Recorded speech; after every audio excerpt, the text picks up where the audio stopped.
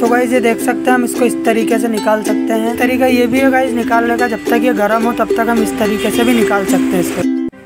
Hello guys welcome to my channel तो एक बार फिर से मेरे चैनल टेक्निकल इसके जोशी में आपका स्वागत है। तो आज मैं आपको बताने वाला हूँ कि हमारा जो फोल्डर रहता है फोल्डर के ऊपर जो ग्लास आता है, किसी मोबाइल में ग्लास आता है, किसी मोबाइल में टच आता है तो वो हमको किस तरीके से चेंज करना है, ताकि कोई डिस्प्ले में प्रॉब्लम ना आए डिस्प्ले में कोई धब्बा ना आए डिस्प्ले की फ़िल्म ना कटे, उसको किस तरीके से हमको निकालना है, कितने टेम्परेचर पे रखना है और कितने टाइम के लिए उसको रख के और हमको हमारा ये ऊपर का ग्लास और टच निकालना है। एलईडी डिसेंबली मशीन पे रख के गाइस तो ये सारी पूरी डिटेल में आपको लाइव दिखाऊँगा और आपको लाइव बताऊँगा कि इसको किस तरीके से, कैसे हमको निकालना है गाइस तो चलिए, ज़्यादा मैं वीडियो को लंबा नहीं करते हुए आपको बता देता हूँ मैं किस तरीके इसको निकालते हैं हम। तो गाइज़ मैंने इसको हमारी मशीन पर रख दिया है एलईडी डिसेंबली मशीन पे फोल्डर को मैंने रख दिया है। और टेम्परेचर गाइज़ आपको कितना रखना है, कितना नहीं रखना है, आपकी किस तरीके की मशीन है, कैसे आपको करना है, क्या नहीं करना है, वो तो आपको पता ही हो। तो मैंने मशीन मेरी गाइज़ पहले चालू कर दी थी, ताकि ये गर्म हो जाए, थोड़ी सी हीट हो जाए तो गाइज़ मेरी मशीन हीट हो चुकी है। और ये मैं तार लगा के अब इसको बहुत आसानी से, धीरे से मैं इसको निकाल रहा हूँ गाइज़ और बार बार मेरे साथ ये भी हो रहा है कि गाइज़ मेरा जो तार है ना, ये तार ज़्यादा पुराना है तो ये टूट रहा है बार बार इसमें प्रॉब्लम आ रही है।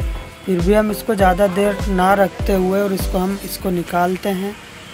और ये देख सकते हैं आप किस तरीके से मैं इसको निकाल रहा हूँ। वैसे मैं गाइज़ इसका थोड़ा सा वीडियो मैंने फास्ट ही कर दिया है, ताकि वीडियो ज़्यादा लंबा ना हो और इसको किस तरीके से हम निकालें।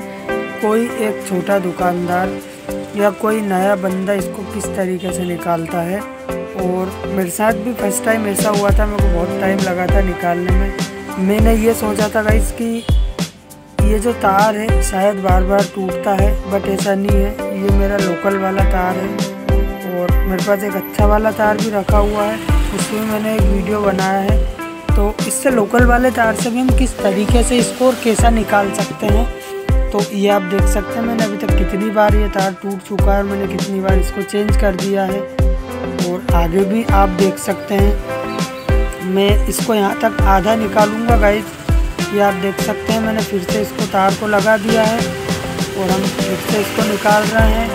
जैसे मशीन भी हीट होने में थोड़ा टाइम लगता है। और फ्रेंड एक बात और, इसका जो फोल्डर है वो हमको ज़्यादा देर तक मशीन पे नहीं रखना है। अगर हमने ज़्यादा देर तक फोल्डर को अगर मशीन पे रखा तो फोल्डर में भी प्रॉब्लम आ जाती है। फोल्डर का पत्ता वगैरह डैमेज हो जाता है। क्योंकि तो पत्ता कितना पतला आता है और तो इसका ग्लास भी कितना पतला आता है, पत्ते पे जो डिस्प्ले लगी रहती है तो उसमें प्रॉब्लम क्रिएट होती है। इसलिए हमको बहुत आसानी से और कम टेम्परेचर पे इसके रखना है, ताकि कोई दिक्कत ना आए और ये मैंने इसका फोल्डर जो है फ्रेंड घुमा के इसको रख दिया है क्योंकि आधा तो निकल ही गया है और आधा और हमको फोल्डर को घुमा के इसको सीधी तरफ़ से जिधर पत्ता रहता है उधर से फिर हमको निकालना है गाइज़ तो उसमें हमको ज़्यादा प्रॉब्लम नहीं आएगी।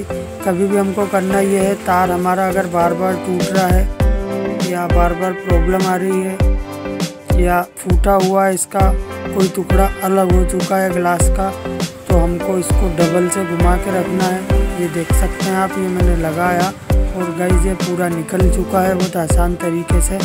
कोई ज़्यादा प्रॉब्लम वाली बात नहीं है इसमें।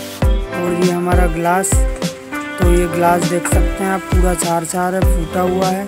और ये जो हमारा डिस्प्ले है, इसका हमको ग्लू किस तरीके से निकालना है, ये हम ग्लू भी इसका बहुत आसान तरीके से निकाल सकते हैं। ये देख सकते हैं आप। फ्रेंड होता ये है कि हम लोग क्या करते हैं कि सबसे पहले इसका ग्लास निकाल के उसको देखने लगते हैं। तब तक क्या है कि बहुत टाइम ज़्यादा हो जाता है। इसको एक मिनट भी अगर हमने रख दिया और ये डिस्प्ले अगर हमारा ठंडा हो गया तो इसका ग्लू निकालने में बहुत ज़्यादा दिक्कत आती है। इससे अच्छा है, ये गर्म रहे, तब तक फ्रेंड आपको निकाल लेना है। तो बहुत सिंपल तरीके से निकल जाएगा, ज़्यादा प्रॉब्लम भी नहीं आएगी इसमें। और ये ऊपर से भी बहुत इजी तरीके से निकल जाएगा। कोई प्रॉब्लम नहीं आती इसको निकालने में। क्योंकि ये गर्म रहता है फ्रेंड तभी तक हम इसको अच्छे से निकाल सकते हैं। और अगर ये एक बार ठंडा हो गया ग्लू उसके बाद हमको निकालने में इसमें बहुत प्रॉब्लम आती है। कुछ लोग क्या करते हैं पेट्रोल वगैरह से इसको निकालते हैं तो उसमें क्या है डिस्प्ले ख़राब हो जाती है, उसमें प्रॉब्लम आती है, धब्बा हो जाता है। तो उस तरीके से हमको नहीं निकालना पेट्रोल वगैरह लगा के हमको ये गर्म रहे तब तक आप स्क्रू ड्राइवर से निकाल सकते हैं, किसी से भी निकाल सकते हैं, बट गर्म रहे तब तक निकालोगे तो फ़ायदे में रहोगे। बाद में फ्रेंड ये ठंडा हो जाएगा ना, इसका ग्लू तो इसको निकालने में बहुत दिक्कत आती है। तो आप इजी यही रहेगा कि फोल्डर का ग्लू हमारा गर्म रहे, तब तक हम निकाल लेंगे तो जल्दी निकल जाएगा और बहुत सिंपल तरीके से निकल जाएगा। तो फ्रेंड कैसा लगा वीडियो? वीडियो को लाइक करें शेयर करें और अभी तक हमारे चैनल को सब्सक्राइब नहीं किया हो तो चैनल को सब्सक्राइब करें और बेल आइकन प्रेस करें ताकि आने वाली वीडियो का हर नोटिफिकेशन आपको मिल जाए और सब्सक्राइब करना ना भूलें यार, आप सब्सक्राइब नहीं करते हो। ठीक है, मिलते हैं अगली वीडियो में।